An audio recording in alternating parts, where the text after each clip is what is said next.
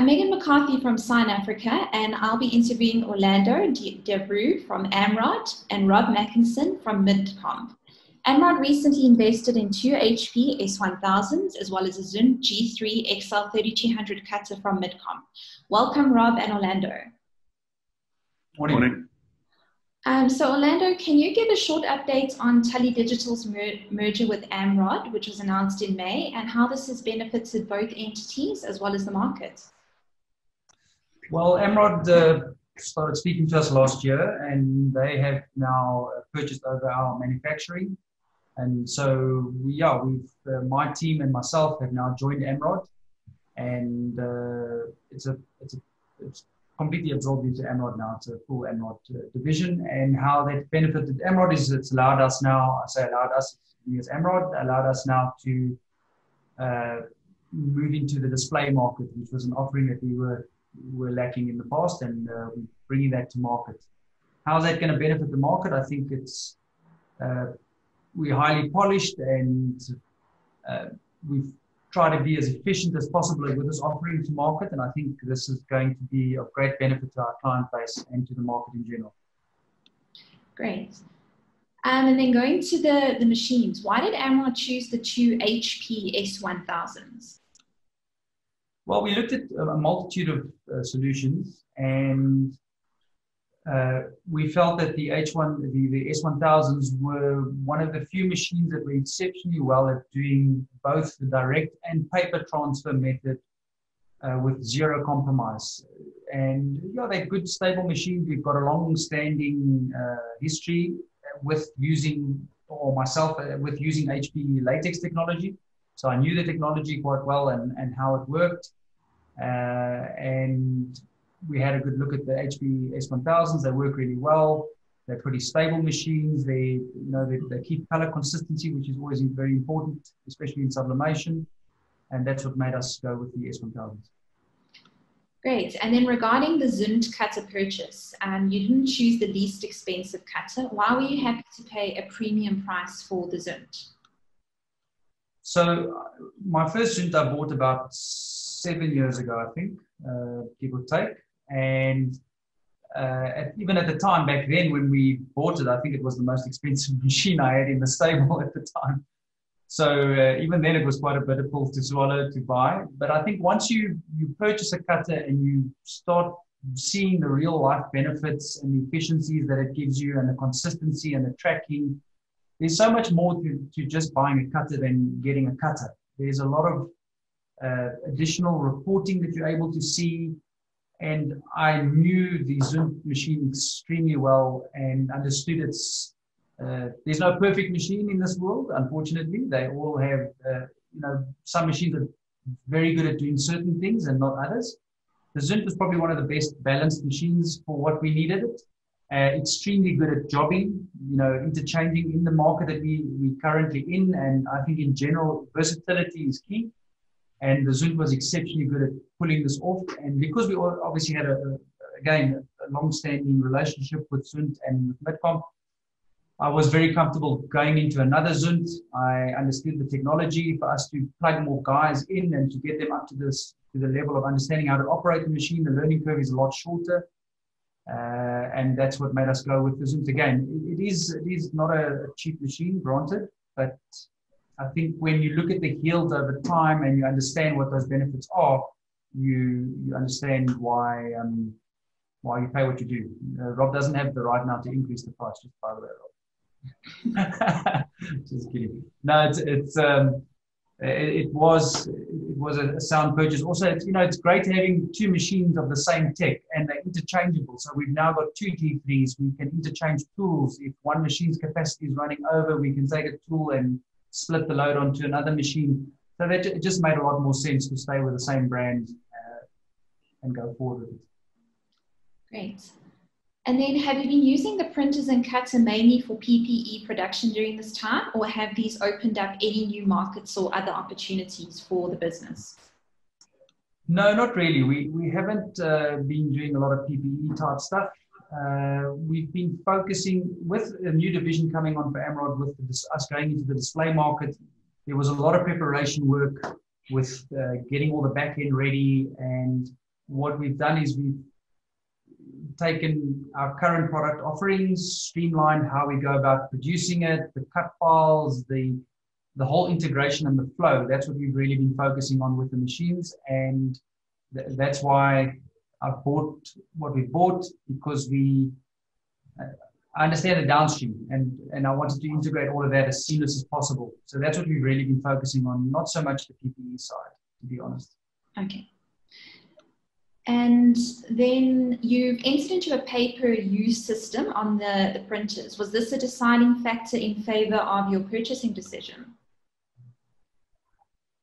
You know, it's, it's always nice to have a, a PPU uh, model if it gives you peace of mind, right? So you have a fixed cost, you know what you're in for, and being, even though we are experienced latex users, being a new machine, I think the PPU just made more sense for us to get our uh, hands around how it all works and if there's any niggles in how we operate with it. But it's it's it's just peace of mind. You've got a fixed cost. You know what you're in for. The machine, because it's PPU and you're getting head replacements and you uh, know what your cost is per square. You know that the machine's delta values and that values are always going to be within spec. You know that it's uh, a fixed variable moving forward. Uh, it just made more sense to, to go with PPU for now. Great. And then how is it, how important is the strength of a local partner like Midcomp support capabilities? And did this influence your decision in purchasing the machines from Midcomp? I think in any business, people negate the fact that that's a supplier is just that, your partner. And it's incredibly important to make sure you choose the right partner. It's like getting married uh, in a way, I guess you, have got to make sure that there's there is um, a beneficial relationship. And yes, it was definitely a factor. We, we needed somebody to partner with us. We have got a big, um, we've got big plans on the horizon to move forward. And it was important for us to choose somebody that we could uh, know that was stable, that was be able to give us the right service, uh, have the right backing. And we felt that uh, Midcomp and HP uh, definitely fitted those, uh, ticked those two boxes. So you did touch a bit on service, and how have you found the service from Midcomp? Yeah, it's been stable. It's been good. Uh, you know, we have from time. It's manufacturing is manufacturing. You have issues from time to time, machine breakdowns. Uh, being new technology, sometimes you can have an, situation where the operator doesn't understand. So yeah, Midcomp's been good in that respect. Uh, you know, once we give the call, they come out, they sort it out. And so far, so good.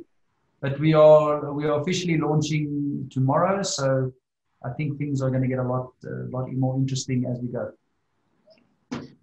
Great. And then, um, Rob, I'll go over to you. Uh, why is the HP S1000 and Zund cutter a good combination, and how do they complement each other? Well, I, I, I think any printer and cutter, it's an interesting marriage because you, on the one hand, you need reliability on the printer, you need color consistency. There's a whole lot of technical speak and jargon around the printer that doesn't really apply when it comes to cutting. So they're a good combination because they're both high quality machines. But outside of that, each machine on its own has its has its merits. Orlando pointed out that one of the big features of the S1000 is that it prints onto paper and direct to textile equally happily. It doesn't really mind which one. Um, you know, uh, speeds and uh, productivity is a little bit different depending on your application, but the fact that you have that flexibility is a big plus. The Zund has always been strong in productivity, so uh, you know they always think outside of the box. If you if you can excuse the pun, they um, uh, you know they have tools uh, to improve productivity. Orlando visited the factory in, in Switzerland before the decision was made, and he and he saw just how forward thinking they are. Simple things like uh, the option on Orlando's second cutter now is called the overcutter camera. It takes a snapshot of, of what's on the table and, and starts cutting within a few seconds as opposed to waiting almost up to a minute to register. So it's those sort of small details that make a big difference when, when you're trying to get productivity out of the machine. Um, you know, everybody everybody's always under pressure. Uh, that pressure always comes when you least expect it. So it's dependable and it has a lot of productivity benefits. Um, so together they make a good combination because individually they, they stand out as, as two really good technologies. So extremely, just to, to back Rob up, yeah, I mean, the extremely solid, uh, if you ever buy a Zund and you just see how it comes in the crates, you appreciate the amount of thought that goes into this machine.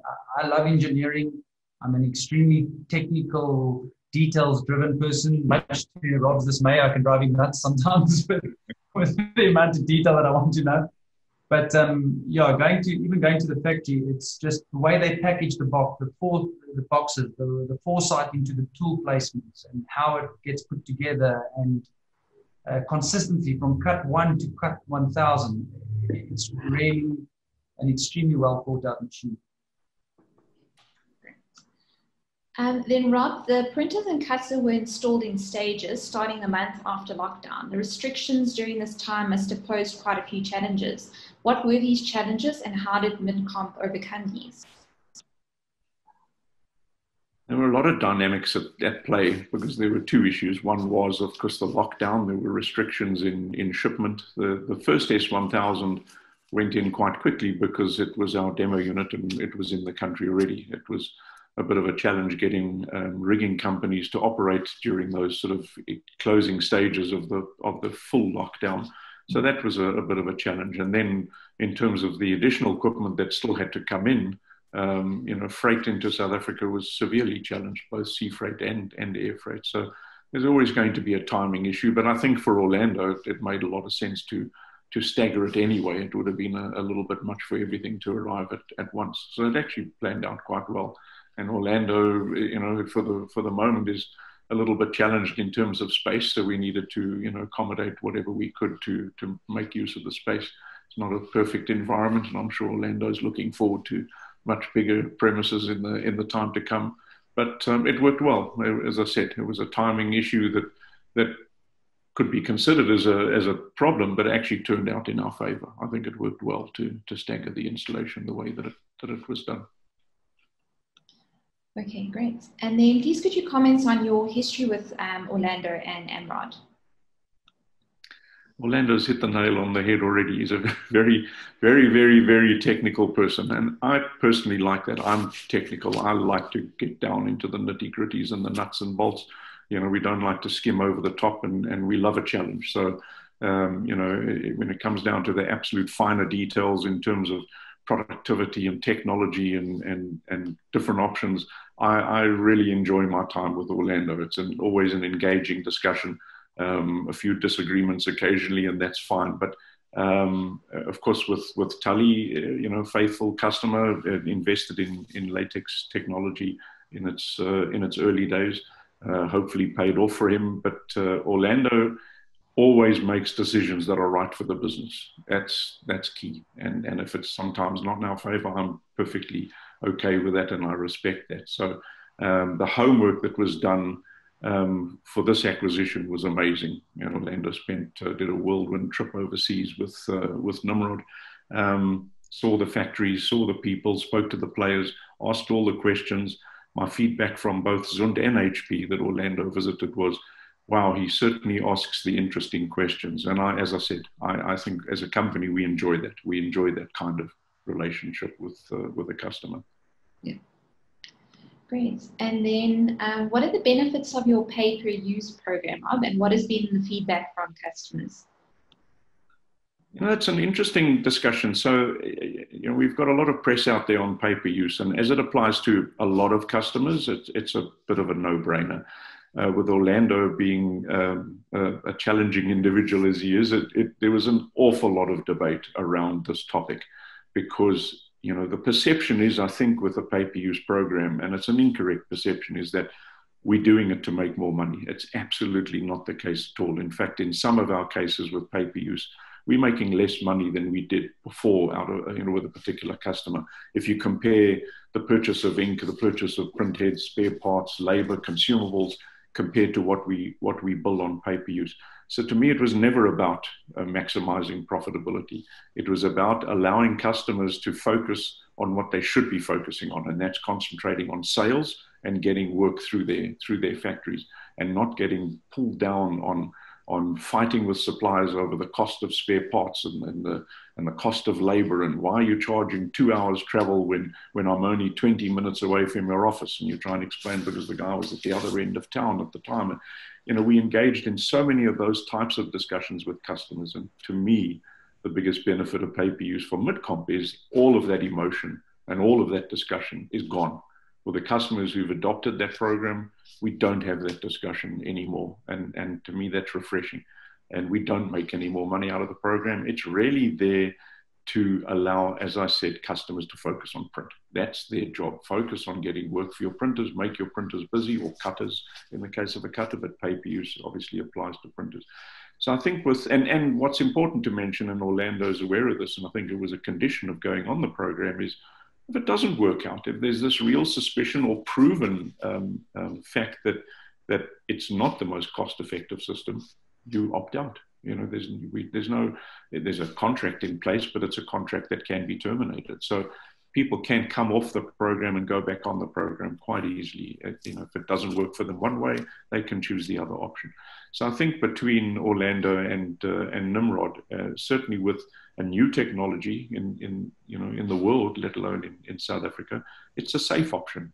You know, there's no surprises now. he knows exactly what his costs is, are, are per square meter. He can cost his jobs to his customers with the with the knowledge that that he's not going to accidentally underquote on a on a job. Um, so I think those are the main the main benefits. And as I said, it's a flexible program. So you know, a couple of months into it, maybe you want to ask the question again of Orlando. Maybe maybe it has worked for him, maybe it hasn't. But I think it's a very aggressive program, and I think it works for most for most people.